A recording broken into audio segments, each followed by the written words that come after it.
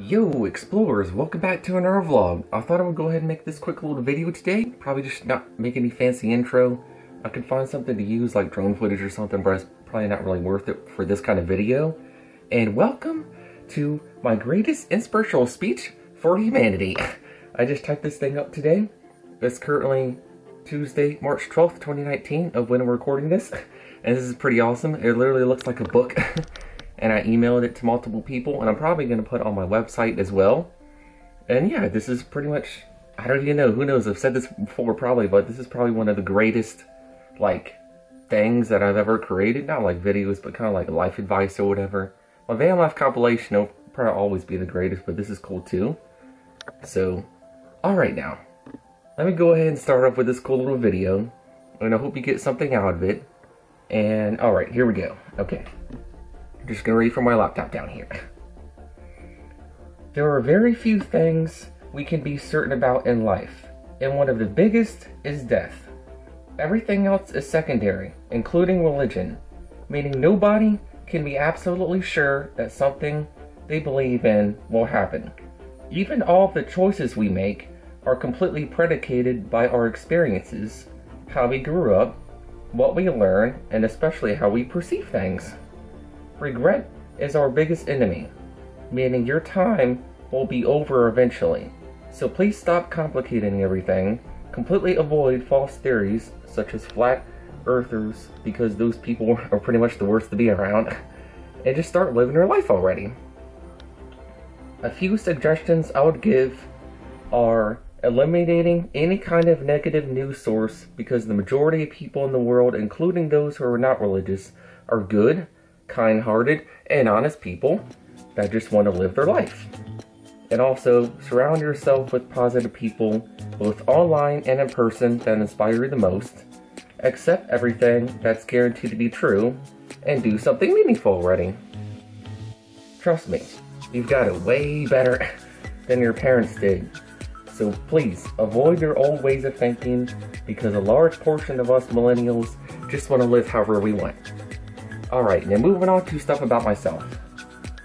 I've always seen myself as an inspirational and cool person who's fully independent, and especially a visionary.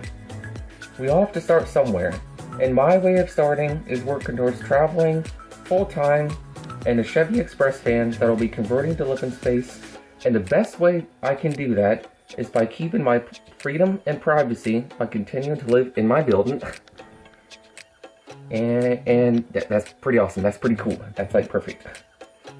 Pretty much just the way I am. That's who I am. So, literally. Uh, okay, moving on. I put on here, uh, you have no idea how much my life has improved.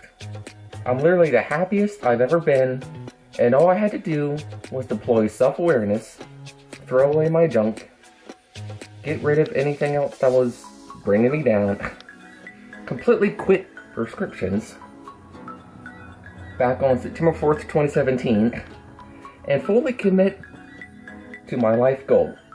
Now, after all of this, my perspective broadened. I found life balance, discovered my life purpose, and things started falling into place. I'm actually so dedicated to this that I'm calling my van the Adventure Express and launching my first nonprofit organization called Rolling Revival that'll most, mostly be online and I also currently live off of $500 a month through, through Social Security, which is amazing because I don't even have to work. And most importantly, after two and a half years at working at Walmart, I'll have about $3,000 saved up to buy basic necessities for places such as churches, food banks, homeless shelters, and more. And what I'll be doing is splitting $100 between two organizations across 30 different locations and I'll truly be making a difference worldwide. I've even looked through all the reasons and everything in between about van life to the point where absolutely nothing is going to change my mind, explorers. it's literally as simple as buying a vehicle, and I'm super excited for it, yo. By the way, I'm certainly not trying to judge anyone and or tell people how to live. All I'm doing is speaking my truth, which kind of involves giving people advice only if they're willing, or uh, what I put on here again? Hold on, I'm trying to make this video as real as possible. Shoot, I just, I just scrolled. Only if they're, wait, where am I at here? this is a funny part in the video. yeah, oh yeah, only if they're open to receiving. Alright, moving on, is one interesting fact about me is I stand for world peace. So you can either accept it or don't. But just remember, I'm never changing that. And one other thing, did you know that one of the biggest determining factors of human nature is communication? So, moving on, finally, I like to share some of the things I live by and that keep me going in life. You can pause at any point on the screen if you want to read these, starting with my top five favorite motivational quotes, and my top four life values. So that's pretty much my explanation of why I'll forever be the life neutral traveling man. And this is a pretty cool little video I made here. And I guess I'm just gonna wrap things up. And also, P.S., please check out the rest of my YouTube channel and the links in the description of my top four greatest pieces of content. And yeah, this is pretty cool. So I'm still trying to finish up, trying to get my score up enough for this last section of my GED. And once I pass it, you guys do not want to miss this next video I'm going to make. I'm going all the way up, like, to a pretty cool place. I don't want to say much about it. I just I wanted to be a surprise because it's so cool. And yeah, I guess that's pretty much it for this quick little video today. Hope you enjoyed and got something out of it. And I'm not really reading anything else on here. I don't know why I'm looking at it. And uh, yeah, I think that's pretty much it for this video, like I just said. And I guess I'll go ahead and wrap things up right here.